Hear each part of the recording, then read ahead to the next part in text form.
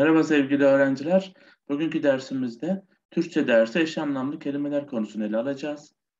Dersimize geçmeden önce sevgili öğrenciler, kanalımda izlediğiniz videoları beğenip yorum yaparsanız sevinirim.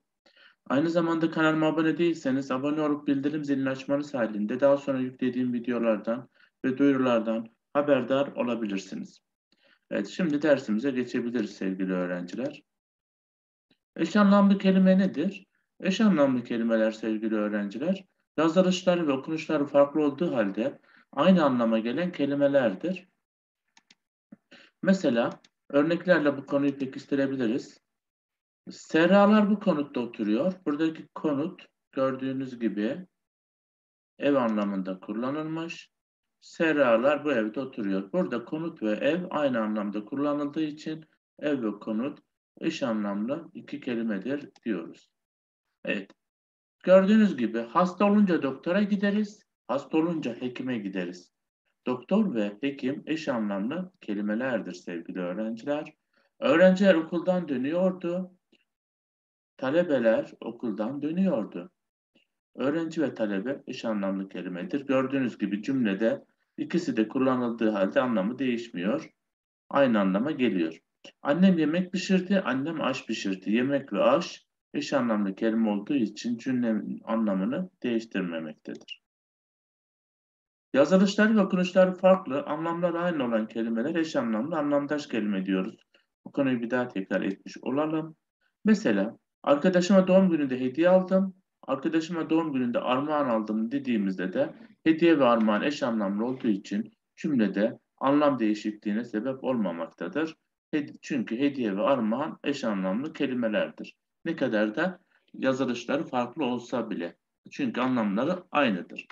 Yurdumuzu yabancıların işgalinden kurtardık. Vatanımızı yabancıların işgalinden kurtardık. Yurt ve vatan eş anlamlı olduğu için e, cümlelerde anlam değişikliğine sebep olmamaktadır.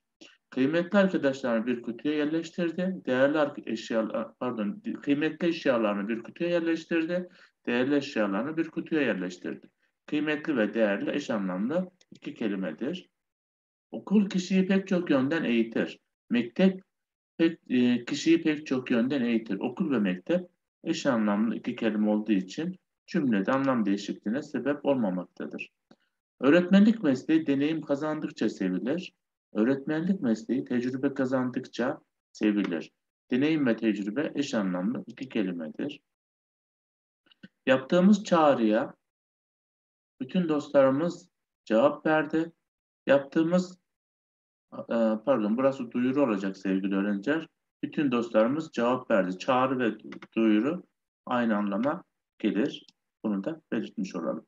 Güreşlere katılamayacak kadar zayıf birisin. Güreşlere katılamayacak kadar cılız birisin. Zayıf ve cılız kelimeleri iki eş anlamlı kelimedir. Güzel bir hikaye okudum, güzel bir öykü okudum. Gördüğünüz gibi hikaye ve öykü eş anlamlı kelimedir. Ee, hikaye ve öykü eş anlamlı kelimelerini karıştıran arkadaşlarımız var. Burada masal diyenler oluyor bazen. Bazen roman diyenler oluyor.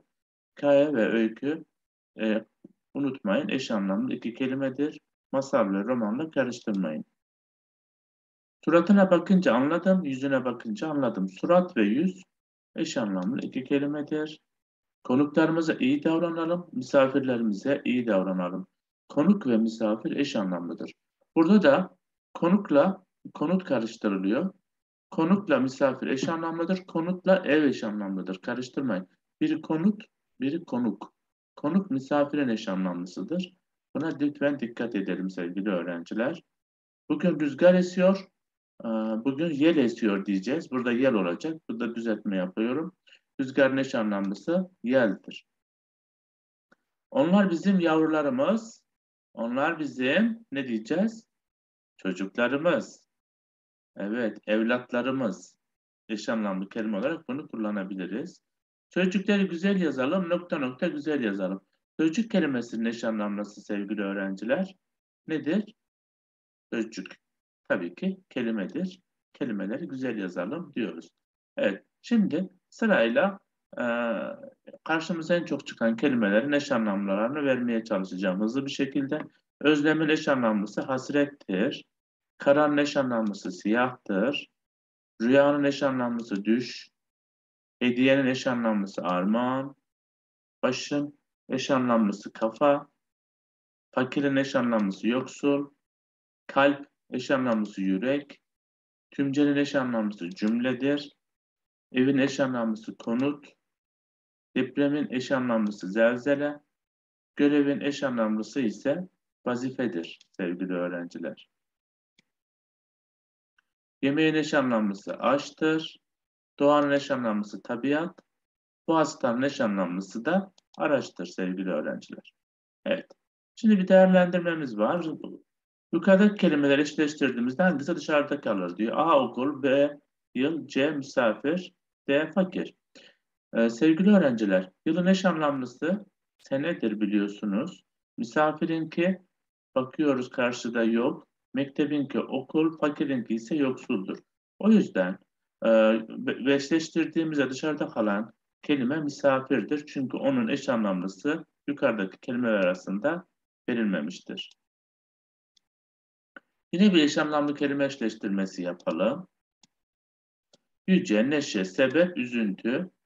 Ee, eşleştireceğimiz kelimeler keder, ulu, sevinç ve neden. Evet. Şimdi eşleştirme yapalım bakalım. Yüce'nin eş anlamlısı uludur. Neşenin eş anlamlısı sevinç. Sebebin eş anlamlısı neden. Üzüntünün eş anlamlısı ise kederdir. Yine bir eşleştirme çalışmamız var. Beyaz, yabani, eşek, doktor kelimeleriyle hekim, ak, vahşi ve merkep kelimelerini eş anlamlarıyla eşleştireceğiz. İsterseniz siz bunu videoyu durdurup eşleştirdikten sonra benim cevaplarımı karşılaştırabilirsiniz. Beyazın eş anlamlısı akla eşleşir, yabani vahşi ile eşleşir, eşek merkeple eşleşir, doktor ise eş anlamlısı olan hekim kelimesiyle eşleştirilir sevgili öğrenciler. Evet sevgili öğrenciler, dersimiz bu kadardı. Derslerinizde başarılar diliyorum. İyi günler sevgili öğrenciler.